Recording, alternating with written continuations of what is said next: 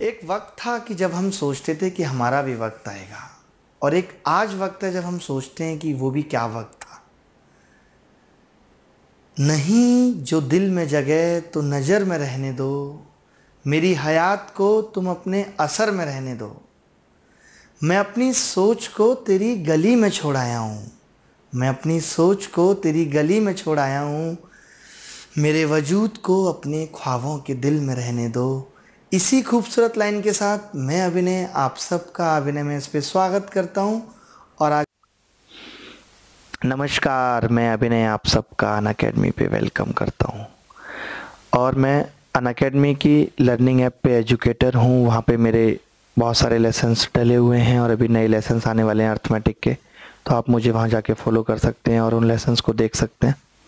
Bye video बनाने की कोशिश कर रहे हैं और उस वीडियो में हम जानेंगे टिग्नोमेट्री के कुछ अच्छे अच्छे सवाल मैं टिग्नोमेट्री पूरी पढ़ा चुका हूँ। हर तरीके से बेसिक आइडेंटिटी, एडवांस आइडेंटिटी, जिसमें कि कुछ आइडेंटिटी बाकी हैं, अभी नई हैं, जो मुझे लगता है कि जिन पे सवाल आ सकता है, उनको हम डिस्कस करेंगे। तो कुछ कुछ वीडियो बीच बीच में ऐसी जिन टॉपिक्स को मैं पढ़ा चुका हूँ, जिनमें कुछ भी अगर अधूरा रह गया है, या जो मुझे लगता है कि अब आ सकता है, उनको हम डिस्कस करेंगे। तो ऐसे ही हम टिग्नोमेट्री की एक आज वीडियो बनाते हैं। जिसमें हम आठ, नौ अच्छे अच्छे सवाल करेंगे। उम्मीद करता हूँ कि आप तैयार हो गए होगे। एक कागज़ और एक कलम लेके। तो चलिए आज की क्लास की शुरुआत करते हैं। इसी उत्साह उमंग के साथ मैं नहाया धोया अभिनय शुरू करता हूँ आज की क्लास।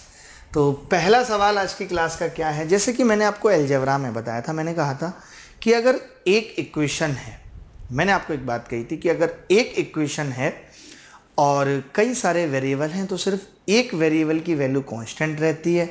बाकी को हम ज़ीरो, एक, दो, चार, पाँच, पैंतालीस, तीस, नब्बे, कुछ भी रख सकते हैं। यही सेम चीज़ हम टिग्नोमेट्री में भी अप्लाई करेंगे कि अगर एक इक्वेशन है, इसका मतलब एक वेरिएबल फिक्स है। जिसमें दो सवाल बेसिक बेसिक मैं पहले भी करा चुका हूँ तो पहले मैं उन्हीं सवालों को ले लेता हूँ जिससे आपको आइडिया लग जाए कि मैं क्या रूल समझाना चाह रहा हूँ। उसके बाद फिर हम उस पर बहुत अच्छे अच्छे सवाल करेंगे।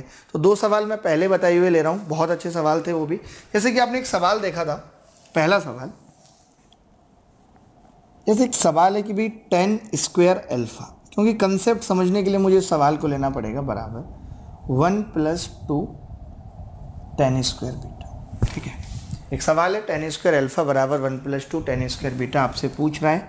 Under root two cos alpha minus cos beta, क्या होगा? ऑप्शन ज़ीरो, एक, दो, रूट। ऐसे ऑप्शन। तो मैं ये तो समझ गया कि इस सवाल का उत्तर अल्फ़ा या बीटा पे डिपेंड नहीं है तो अल्फ़ा बीटा को अपनी मर्ज़ी से मैं कुछ भी ले सकता हूँ। तो मैंने देखा कि भाई अल्फ़ा बीटा में सिर्फ़ एक इक्वेशन दे रखी अगर अल्फ़ा बीटा में एक इक्वेशन दे रखी है, इस बात का मतलब है कि एक वेरिएबल फिक्स है और बाकी एक सवाल के हिसाब से निकलेगा। जैसे एक फिक्स है तो हम दोनों को अपनी मर्ज़ी से नहीं रख सकते, सिर्फ़ एक को रख सकते हैं, जैसे मैंने बीटा को ज़ीरो रखने की कोशिश की। जब मैंने बीटा को ज़ीरो रखने की कोशिश की तो मुझे पता चला कि भाई टेन स्क्वायर अल्फ़ा यहाँ से क्या आएगा? वन। और मैं ये कह सकता हूँ कि अल्फ़ा यहाँ पे कितना होगा? Forty five. तो एक तो मैंने अपनी मर्ज़ी से रखा कि बीटा बराबर ज़ीरो है और एक निकल के आया सवाल में कि अल्फ़ा कितना है? फोर्टी फाइव है। ठीक है? तो आप देखेंगे, अगर हम इसको इस चीज़ में पुट कर दें, रूट टू, और कॉस अल्फ़ा का मतलब कॉस पैंतालीस, यानी कि वन बाई रूट टू।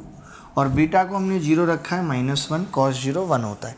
तो रूट टू से रूट टू कट जाएगा वन माइनस वन कितना आ जाएगा? ज़ीरो और ज़ीरो इस सवाल का उत्तर है।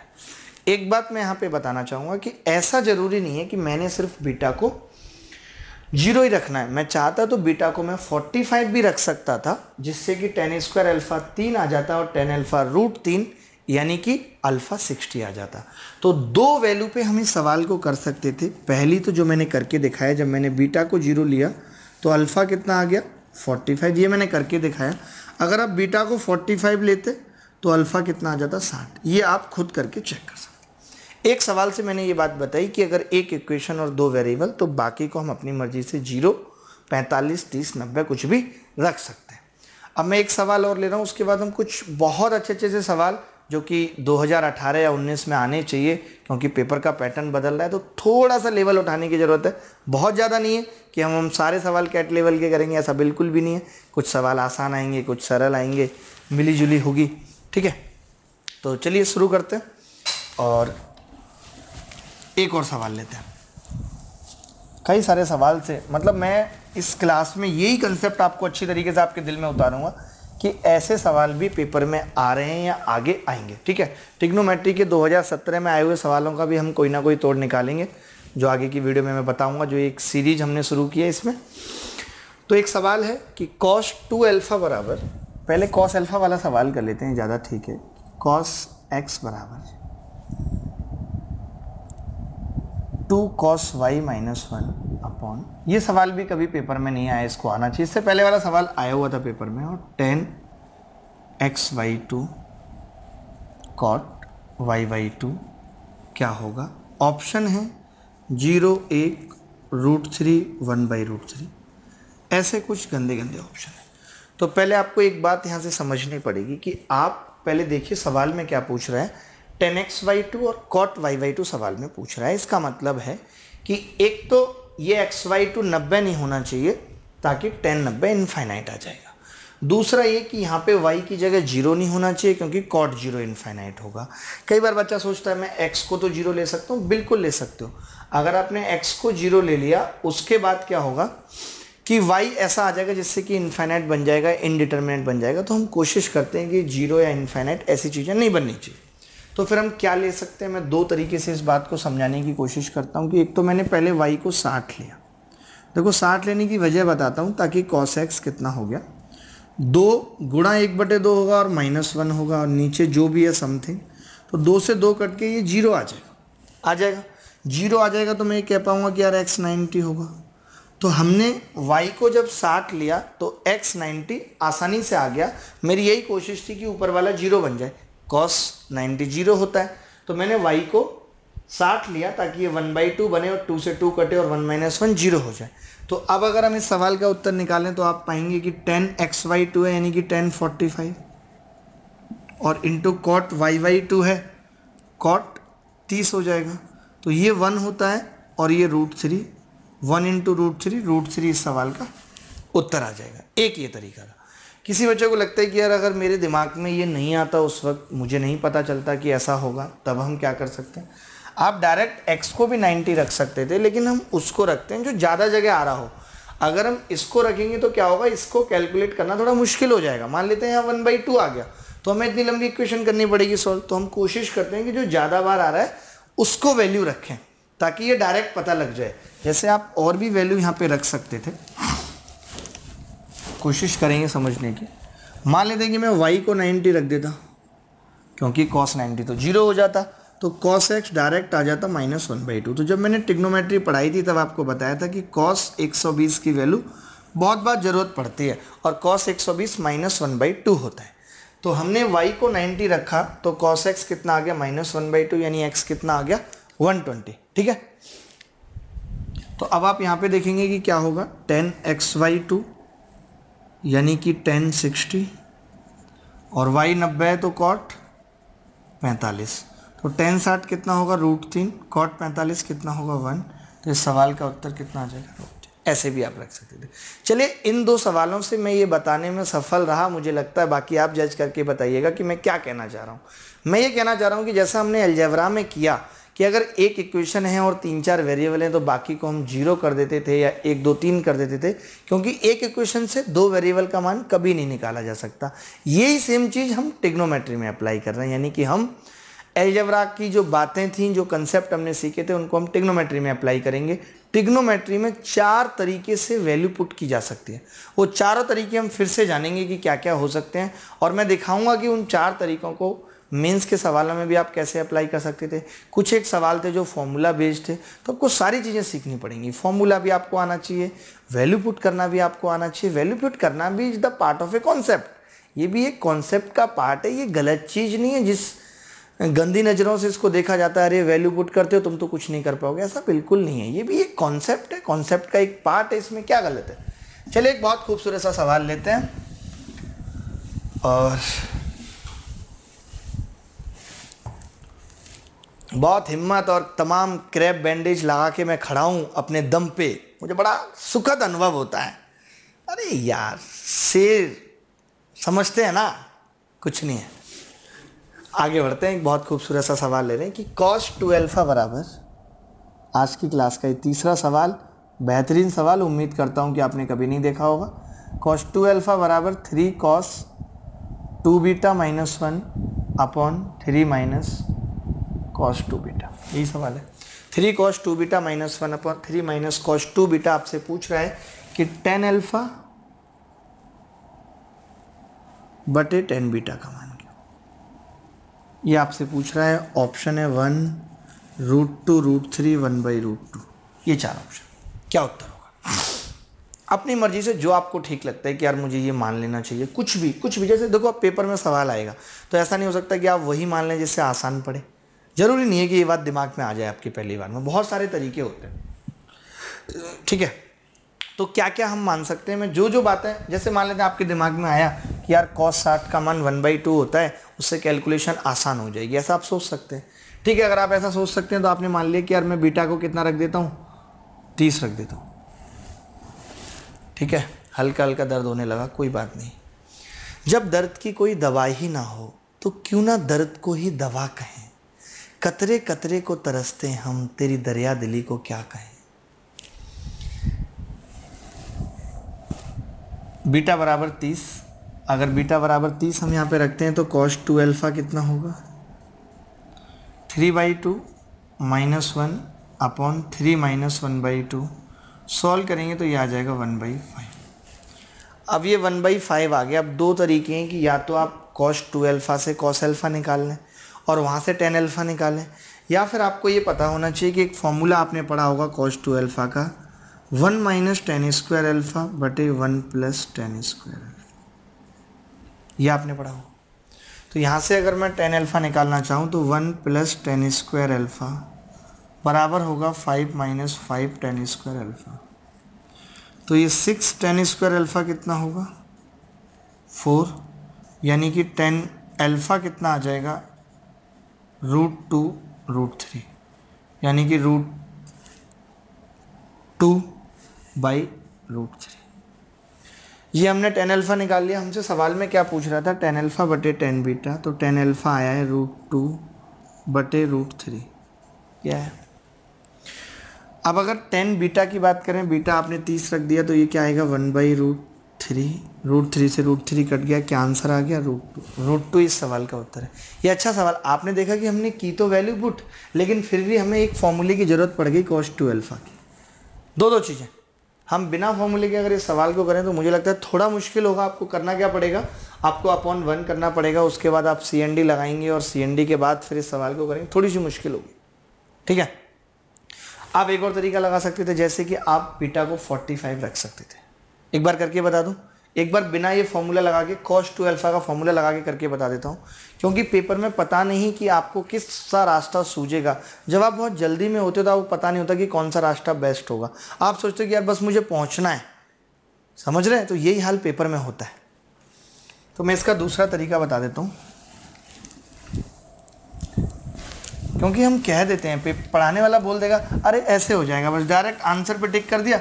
अरे, इसका तो ये उत्तर होगा। हमें मालूम है, हमने पाँच बार परीक्षा दी है। कितनी मुश्किल होती है, वहाँ पे आते हुए सवाल गलत हो जाते हैं। ठीक है? तो हमने क्या किया भाई बीटा को हमने 45 रख दिया। हमने बोला, बीटा 45 रखते हैं तो डायरेक्ट कॉस्ट ट्वेल्फा कितना आ जाएगा? Minus one by three. इसका फॉर्मूला लगा दें तो two cos square alpha minus one होता है। तो यहाँ से टू कॉस स्क्वायर अल्फ़ा कितना आ गया?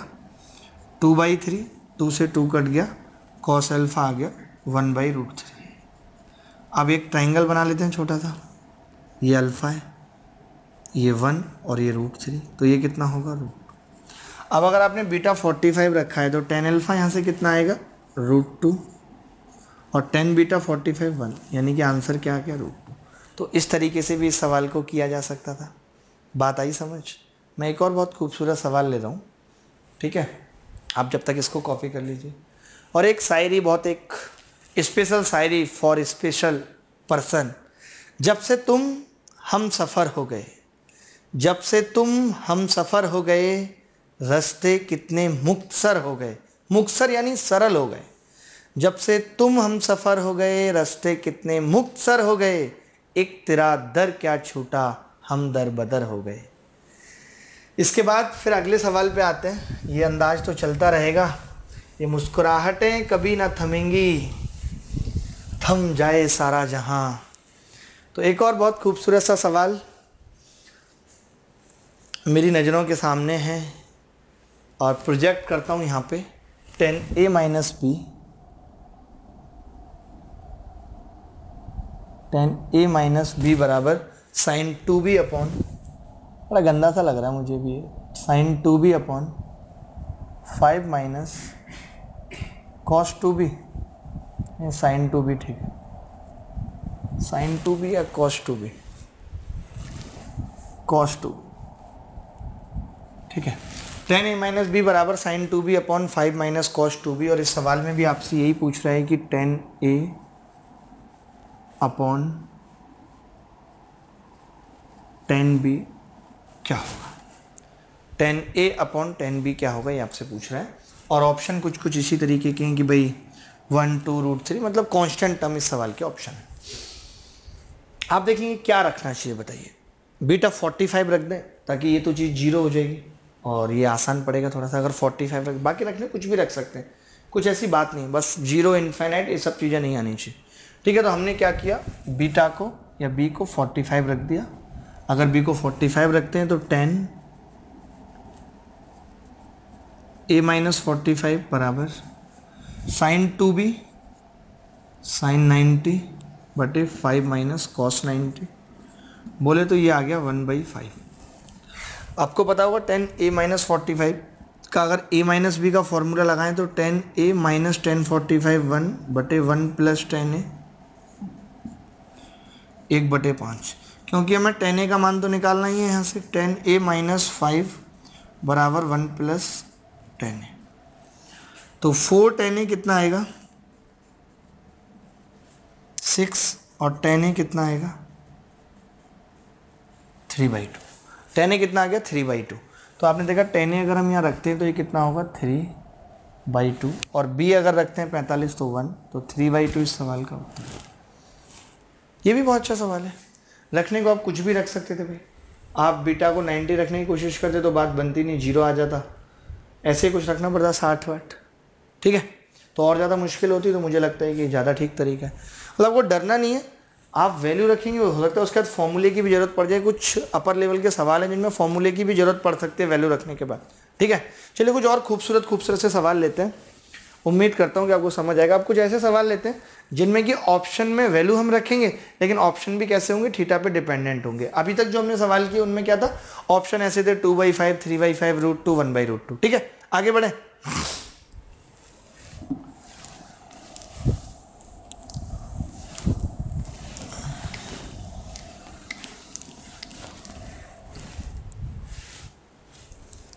चले कुछ अच्छे अच्छे से सवाल मैं देखता हूँ, जो मैंने कलेक्ट किए हैं। ये बड़ा अच्छा सवाल लगा मुझे जब मैंने देखा इस सवाल को तो। आज की क्लास में हम काफ़ी सारे सवाल कर रहे हैं। हम चाहते तो दो पार्ट में इस वीडियो को बना सकते थे, लेकिन बस मुझे हिम्मत दिखानी है खड़े होने की।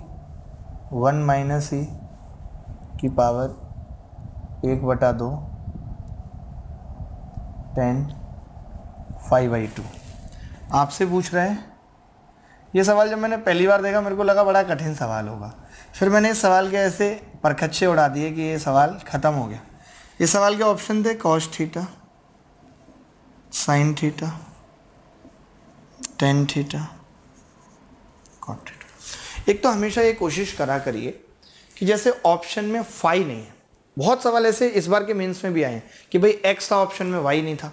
तो अगर ऐसा होता है कि भाई ऑप्शन में फाई नहीं है तो हम कोशिश करेंगे यार फाई को ख़त्म करने की। जैसे मैं क्या करूँ? या तो मैं ई e को, एक इक्वेशन में तीन वेरिएबल है थीटा फाई ई क्या करना चाहिए? ई e बहुत बार है। ई ई ई ई सबसे ज़्यादा बार मुझे लगता है ई e है। तो क्यों ना ई को ख़त्म कर दें? मैंने ई को ज़ीरो कर दिया। ई को अगर मैं ज़ीरो करूँगा तो वन बाई वन ये ख़त्म हो जाएगा। ई को मैंने ज़ीरो किया। तो पता चला कि थीटा वाई टू बराबर फाइव वाई टू आ गया, यानी कि थीटा किसके बराबर आ गया? फाइव के। आ गया, ठीक है? अब आप देखेंगे, अगर मैं ई को ज़ीरो करता हूँ तो ये ख़त्म होगा और ये ख़त्म होगा। सिर्फ़ आंसर बचा कॉस फाइव। अच्छा फाइव में तो ऑप्शन नहीं है। लेकिन फाइव बराबर है थीटा के। तो कॉस फाइव कॉस थीटा के बराबर हो जाएगा। कॉस थीटा इस सवाल का उत्तर है। ऐसे सवाल आएँगे पेपर में, मैं बता रहा हूँ आपको, क्योंकि अब अगला लेवल यही है, जहाँ पे सवाल बढ़ सकता है। ये वो सवाल हैं जो कभी सीडीएस में आए हुए हैं या कभी किसी एग्ज़ाम में आए हुए हैं कैट मेट में, वो मैंने सारे सवाल उठाए। चलिए ऐसा एक और खूबसूरत सवाल लेते हैं। आप तरीके जानेंगे, आपको लगेगा कि कैसे सवालों को अप्रोच करना है।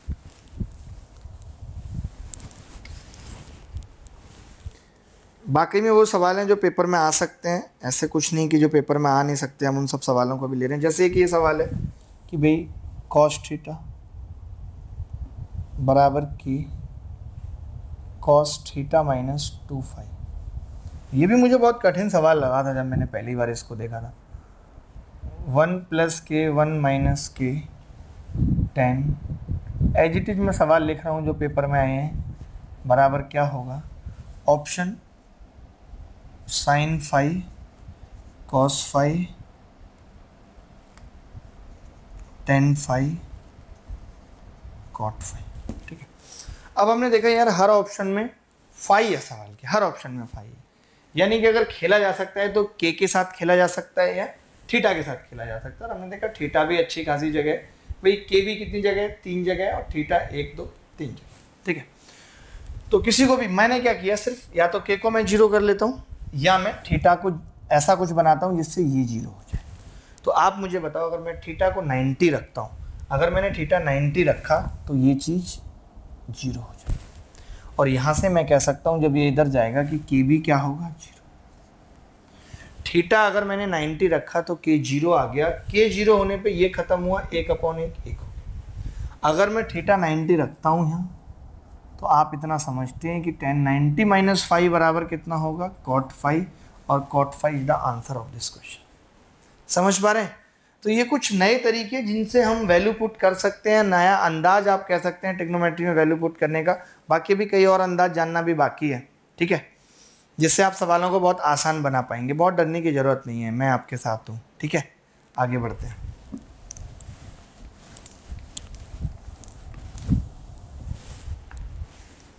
कुछ और एक सवाल। ये सवाल भी ठीक सवाल है, जैसे देखिए कॉस्ट थीटा अच्छा सवाल है। कॉस थीटा बराबर A cos five plus B बटे A plus B cos five तो कॉस थीटा कितना होगा? ये पूछ रहा है टेन थीटा बाई टू और cot five by two option है under root A minus B upon A plus B under root A plus B upon A minus B under root A B under root A by B ऐसे गंदे गंदे option इस सवाल में दे रखे ठीक है? तो क्या अप्रोच हमें लगानी चाहिए? जैसे कि हम फाइव को अगर नाइन्टी कर लें, आप देखेंगे अगर मैं फाइव को नाइन्टी कर लूँ तो डायरेक्ट ये बी बाई ए आ जाएगा। क्योंकि ये चीज़ ज़ीरो हो जाएगी। ज़ीरो हो जाएगी। हो जाएगी। बी बाई आ जाएगा। फाइव को नाइन्टी करने पे नाइन्टी बाई टू पैंतालीस, ये भी खत्म। हो जाएगा।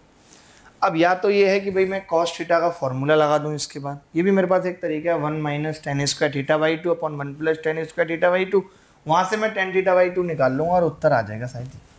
आपको लगता है, यार, मुझे तो याद ही नहीं है कॉस्ट थीटा का फॉर्मूला अभी मैंने बताया था वैसे। तो आप क्या करेंगे, आप ऐसा करो, इसको वन बाई टू बना लो।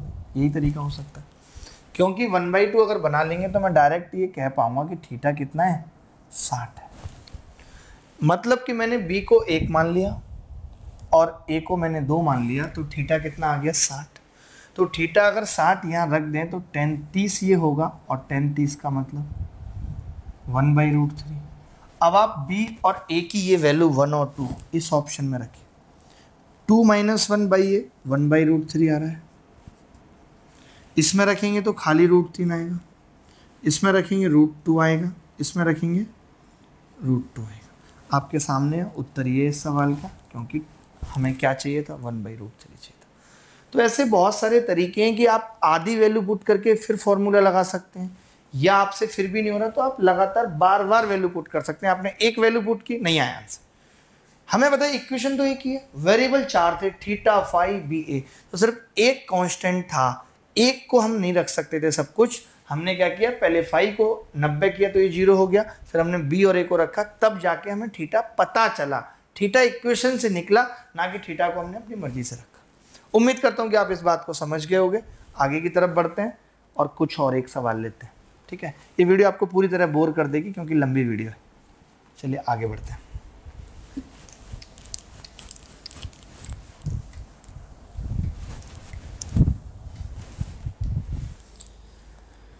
ये सवाल हमने कर लिया। एक और बहुत खूबसूरत सा सवाल है कि भाई sine alpha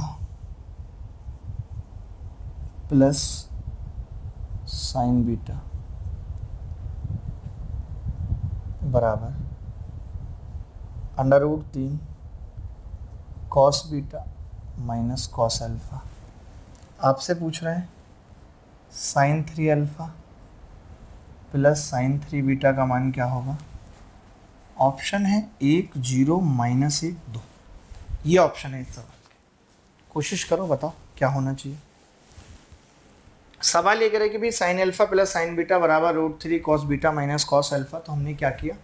कुछ ऐसा रख देते हैं, जैसे कि अगर मैं बीटा को साठ सोचूं बीटा साठ तो क्या होगा, यहाँ वन बाई टू आएगा, नहीं रूट थ्री बाई टू और यहाँ भी रूट थ्री बाई टू आएगा मतलब कि ये टर्म इससे कट जाएगी, अगर हम बीटा साठ रखते हैं। तो हमने कोशिश की कि यार हम बीटा साठ रखते हैं।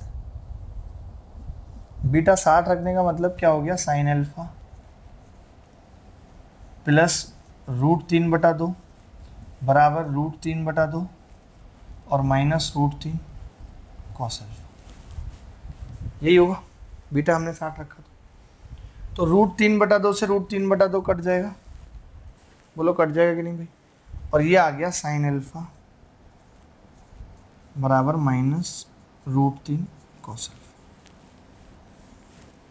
बीटा साठ रखने पे अब आप ही बताओ कि अल्फ़ा को ऐसा क्या रखना चाहिए, जिससे कि बात बन जाए?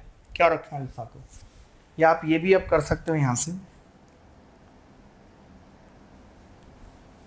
प्लस बराबर ज़ीरो। हमने बाई टू कर दिया, यहाँ पे भी बाई टू कर दिया। अब हमें फॉर्मूला बनाना पड़ेगा। अल्फ़ा निकालने के लिए फॉर्मूला बना लेते हैं। क्या बनेगा भाई ये? ये बन जाएगा साइन अल्फ़ा और वन बाई टू को रख सकते हैं कॉस साठ प्लस कॉस अल्फ़ा साइन साठ बराबर ज़ीरो यानी कि साइन अल्फ़ा प्लस साठ बराबर ज़ीरो तो यहाँ से अल्फ़ा कितना हो गया? माइनस साठ। हम ये यहाँ पे भी देख सकते थे कि अगर अल्फ़ा में माइनस साठ यहाँ रख देता, अगर आप नहीं कर पाते या नहीं समझ पाते तो भी आप समझ सकते थे कि अगर अल्फ़ा में माइनस साठ यहाँ रख देता तो इधर तो आता माइनस रूट तीन बटा दो, और इधर कितना आता माइनस रूट तीन बटा दो। तो अगर ये फॉर्मूला ना लगा के मैं यहीं पे समझ लेता कि यार जब मैं बीटा को साठ रख रहा हूँ तो अल्फ़ा कितना आ रहा है माइनस साठ आ रहा है। यानी कि अल्फ़ा बराबर है माइनस बीटा के। आपको पता होगा, अगर इसको साइन थ्री अल्फ़ा ही लिखा रहने दें, और प्लस इसको कर दें माइनस का साइन थ्री अल्फ़ा तो माइनस बाहर आता है साइन के केस में, ये इससे कट जाएगा, उत्तर क्या होगा? ये सिर्फ़ हमें इसलिए निकालना पड़ा कि आप अगर नहीं समझ पा रहे कि अल्फ़ा क्या निकलेगा। आप कोई और भी वैल्यू रख सकते हैं। मैं ये नहीं कह रहा कि आपको यही रखनी है। आप बीटा को 90 भी रख सकते हैं तो भी कोई इशू नहीं है। जो आपका दिल करेगा, आपने भाई बीटा को 90 रख लिया, कुछ जो भी आपको लगता है, ठीक है। ठीक है? क्लियर है बात? आगे बढ़ें। उम्मीद करता हूँ कि आप समझ गए होंगे। अच्छा सवाल था ये भी। और कुछ सवाल लेते हैं। एक और सवाल लेते हैं। आखिरी सवाल बनाते हैं उससे।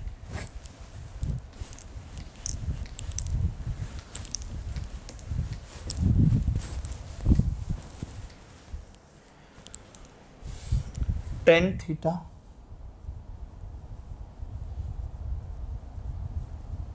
टेन फाइव बराबर अंडर रूट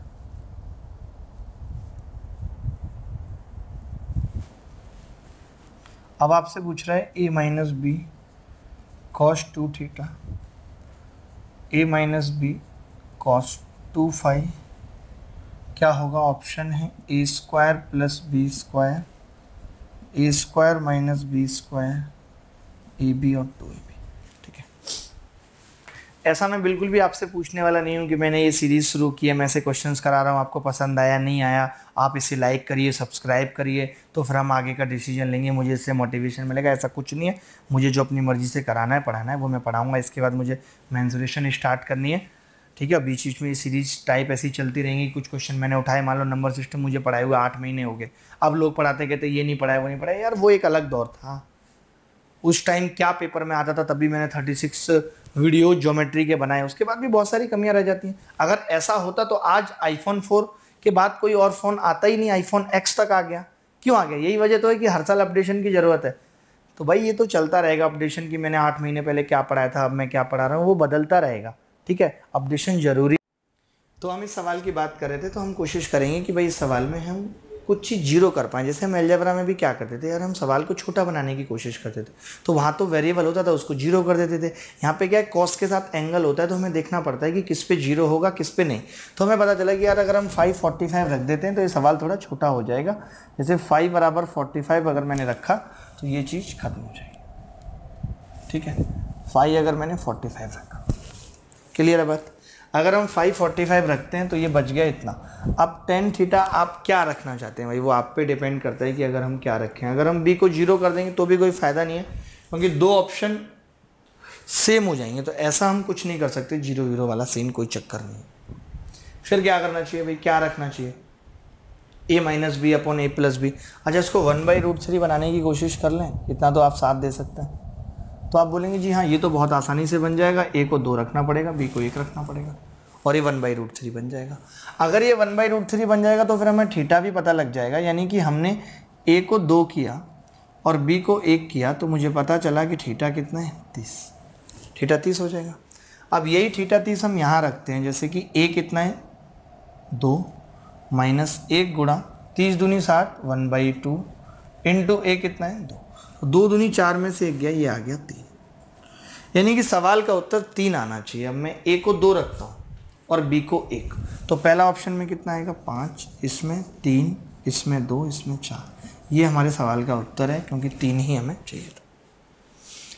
उम्मीद करता हूँ कि जो बात मैंने आपको बताई, जो चीज़ें मैंने आपको समझाई, आठ, नौ, दस एग्ज़ाम्पल मैंने लिए, इनको आप अपनी कॉपी में लिखेंगे नोट करेंगे और जानेंगे कि कभी भी अगर ऐसा सवाल आ जाता है तो आपको क्या अप्रोच लगानी चाहिए, इससे आपको फ़ायदा होगा। और अगली फिर एक और शिफ्टिंग की या हम मेंसुरेशन की वीडियो के साथ मिलेंगे। तब तक मैं विदा लेता हूँ। बाय बाय टेक केयर ख्याल रखें अपना, खुश रहें।